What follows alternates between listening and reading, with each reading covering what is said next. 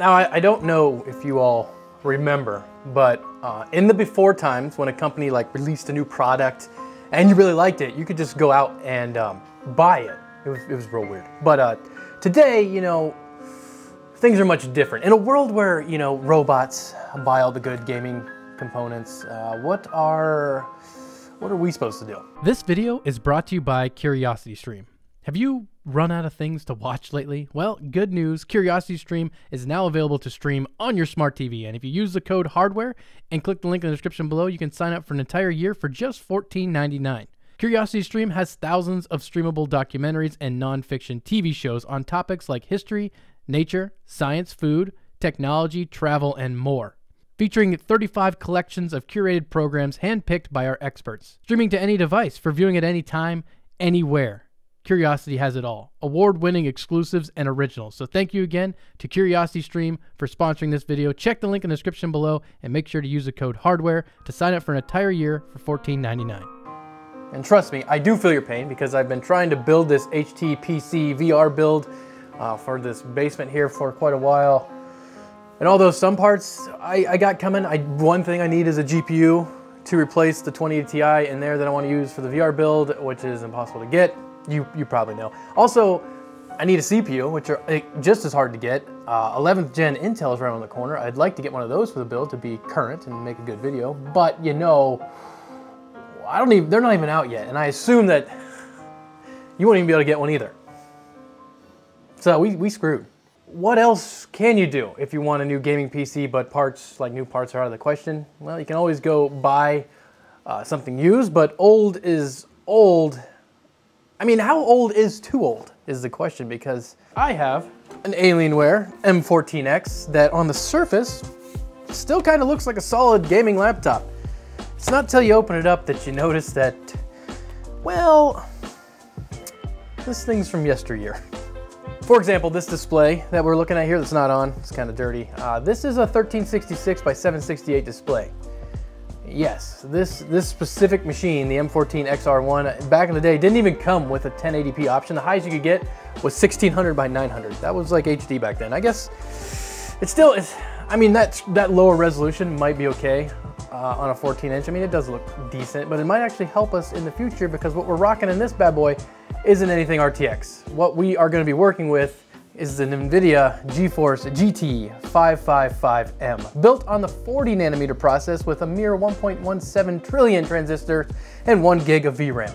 As for the CPU, this old machine has the i7 2720QM, which is a Sandy Bridge processor. Sandy Bridge was a really good processor back in the day. It's 32 nanometers, uh, base clock 2.2, boosting up to 3.3.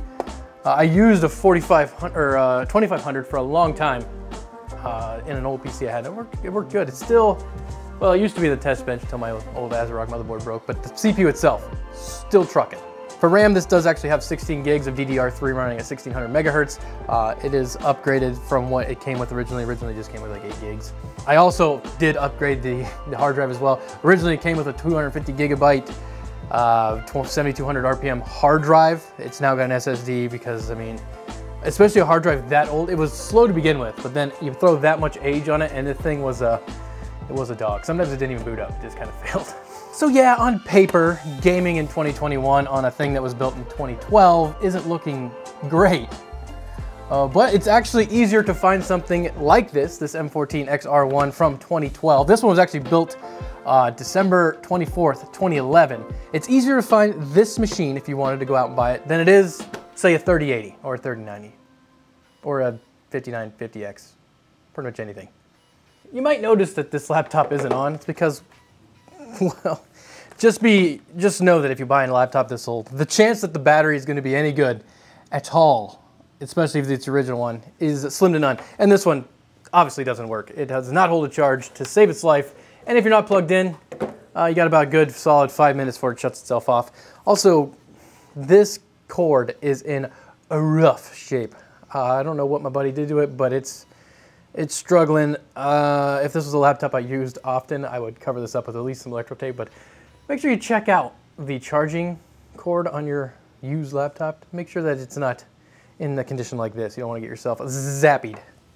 Anyway, we'll plug, this, we'll plug it in so you can actually turn it on. This is the one that I uh, liquid metalled almost three years ago, and I want to take it apart and look inside of it, but I first want to know, one, does it overheat again now, and two, can you game anything? So I think it'd be fun to start out on Cinebench R15 just to see what it scores compared to what we're used to.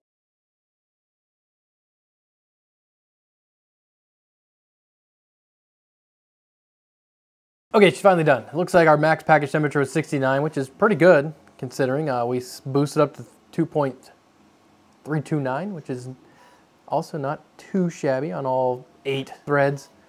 Uh, what did we score? 373, kind of what we expected. So at least it's still working. Um, it didn't crash, which is good. It didn't overheat, which is good. We'll keep that open just to monitor. Uh, so let's let's try our first game. Like I said, we'll try something easy. We'll try Poly Bridge. Okay, menu screen. 35. Playable, for sure. Oh yeah, solid 60 FPS, at least on the building menu. Things are feel responsive. Yeah, no, no issues. Uh, animation, it drops a little bit, but definitely more than playable. You could, you could enjoy this game on a, a laptop from 2012. What about old World of Warcraft? The Shadowlands just came out. Uh, I mean, 30 FPS. I, I, don't know what my settings are set at. Let's take a look. Graphic 1366 by 768. Uh, everything's set very low. Let's let's turn it all the way up. Okay. Ooh, we're only at 10. We're getting, I mean, 20 frames per second is usable in a game like this, but I, I have to think that any, if I get into anything that has more than one character involved and you start throwing a bunch of AoE spells, uh, you're not going to be able to play much. So you're going to have to go with the recommended settings for this computer, which uh, World of Warcraft is saying is 2. We're rocking about 15 FPS in the Minecraft. For a game like Minecraft, this is definitely usable. You could, you could have a good time. Now, Overwatch is probably where I imagine our first unusable is going to come from. McCreasy. See what our settings are first of all video settings are, well, they're set to low. So let's see what low gets us. 40, I mean, this is okay, okay. This is not bad. Feels a little spongy. Like uh, our frame rate's decent, but there is some sort of input latency. I don't know if it's the screen's or response time, because I don't know what this display's response time is. I don't imagine it's superb. Uh, surprisingly, I'll go with usable. This is definitely a game I thought, I thought I didn't think it would work. So now we're going all in. This is Microsoft Flight Simulator 2020, playing on a laptop from 2012. When I first started this game up, it just said, uh, yeah, your system does not meet the minimum system requirements for this game. You're gonna have issues. And I was like, ah, we're gonna go anyway. So now we're waiting on the world's largest update. And I have my Thrustmaster Warthog hooked up to this computer which is the, probably the first time I've ever used a joystick that's worth more than the computer that I'm using it on. Two hours later. Okay, to start, I don't want to talk about how long that update process took, uh, but at the menu, here we are. We've made it this far. Trying to click on stuff, not super responsive. Good news, I saw that the power adapter came unplugged, so now we got 10 FPS things are actually a little more responsive now. It's, it's, as, it's as good as it's to get. We're on low end. Still not, you know, the best experience, but if we can just, if we can fly, can prove that this is, it is possible. Alrighty, here we go. Let's see if we can even load in.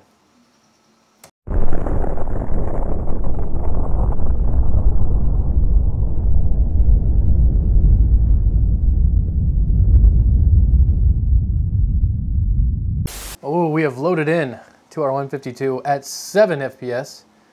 Uh, what's outside view? Speakers on this thing are absolute horrible. We're rocking a solid 8 FPS, but we're moving. Oh boy, oh boy. Keep her on the center line there, Bob. Well, look at that.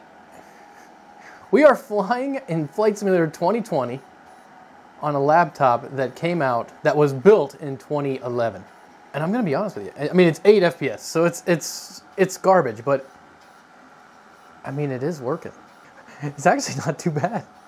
I mean, it's a frame rate's horrible, but I once you're up in the air, it gets a little better. I don't know what, what my flap button is, so we'll just ignore that. We're gonna try to do a landing. Oh, we're, we're dropping frames. Nope, nope, back to eight. Eight is as high as we've seen so far. We'll do an extended downwind just so we have some time to get ourselves situated. at our 8 FPS. I, feel, I think only one of these speakers is working. You can see the runway now. Okay, we're gonna try our 180 turn, 180 degree turn. Get lined up. Not too bad. We gotta get slowed down if we're going about a buck 50. Oh yeah.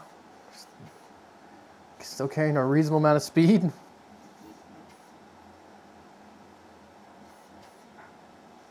It's not, it was actually a really good touchdown. But we are not slowing down. We successfully took off, flew a pattern, and landed.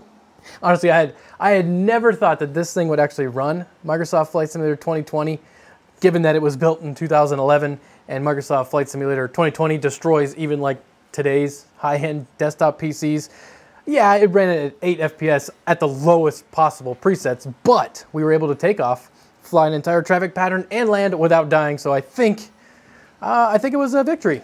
And even better, the temperatures were were pretty decent. So the CPU the highest temperatures we saw during that gameplay was 84 degrees Celsius, which isn't bad, given this thing's age. Uh, and the GPU, the GPU's max temperature was 72 degrees. That's even better. So the liquid metal that I put on both the CPU and GPU die about three years ago now, still working, still working strong.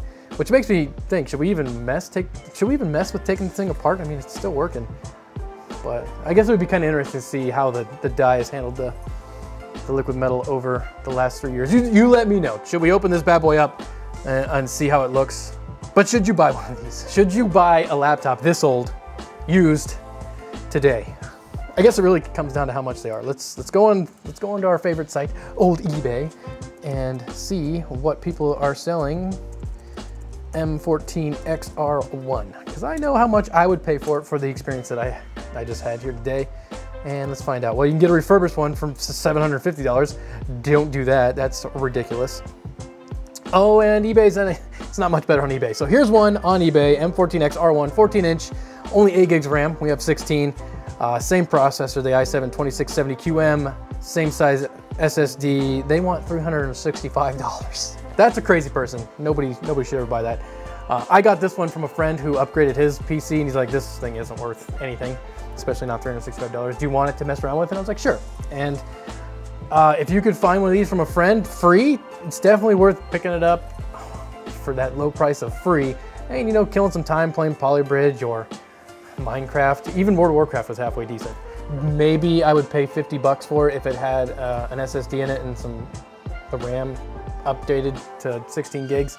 Any higher than $50, I wouldn't do it. I mean, I had $50 worth of fun playing on this thing but that's about it. But either way, temperatures are still good, liquid metal's still doing its task, and we were able to play one of the beastliest games out right now.